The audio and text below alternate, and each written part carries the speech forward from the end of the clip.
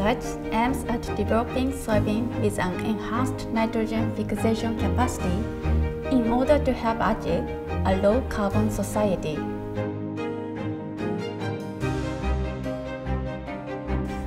Nitrogen fertilizers used in conventional farming consume a large amount of energy, which places a considerable strain on the environment.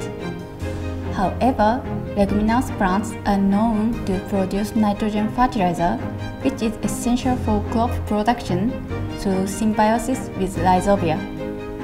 The SEN1 gene has proven to be key to creating soybean capable of enhanced nitrogen fixation.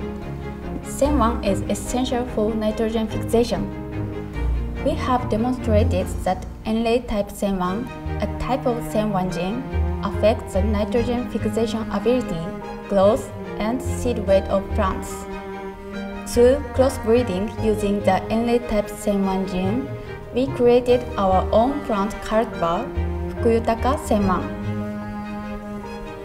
On analyzing its properties, we found that Fukuyutaka SEN1 grew faster, had greater nitrogen fixation activity, and produced higher yield compared to those of the original Fukuyutaka cultivar.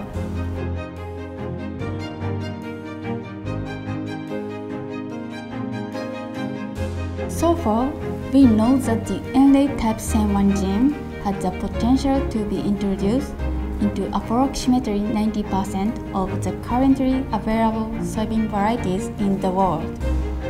If this is implemented, it could result to a substantial decrease in the use of nitrogen fertilizers in soybean production throughout the world, which in turn has the potential to significantly reduce CO2 emissions.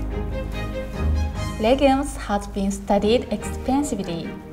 That our work is now leading to the generation of new cultivars, such as Fukuyutaka SEN1, is a great source of motivation and joy for us as we progress our study in this regard.